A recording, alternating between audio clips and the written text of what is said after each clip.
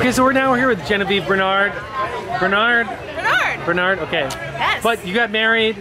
You're married to the enemy of so many people here. Yes. But he's not my enemy. I love him. He's not my your devil. enemy, no. Yeah. Uh, so, but you're the kids' Fringe producer. I am. I am the Kids Fringe producer, and it's pretty fabulous. And you told me something really interesting. You guys are going out every day this week to like a school or to a hospital, children's hospital, We and you're are. doing stuff.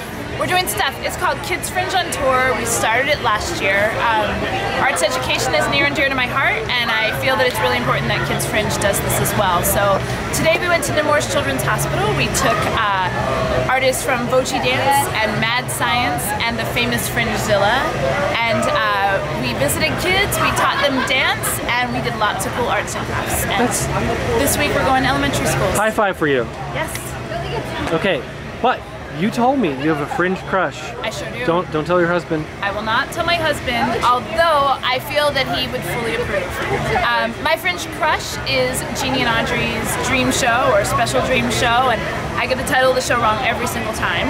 Um, it was the first Fringe show I saw this year. It's right up my alley. Um, two adorable girls piecing together a lot of really cute things into uh, 60 minutes of fun.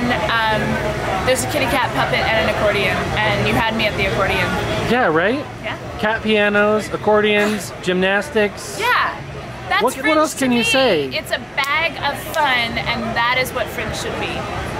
To me, anyway. Absolutely. Love them. And they inspired me. I went home and I told my cat, look, you need to learn to play the accordion now. So they've taken us Definitely. to the next level. Anything else that you've been really like? Just like this year's Fringe is. Oh, it's really fun, but no, you know what? I'm still catching up. I haven't seen a lot of Fringe shows yet, so uh, I'm playing catch up this week. This Fringe is pretty great. That's all I can say. Sweet. Thanks so much, Genevieve.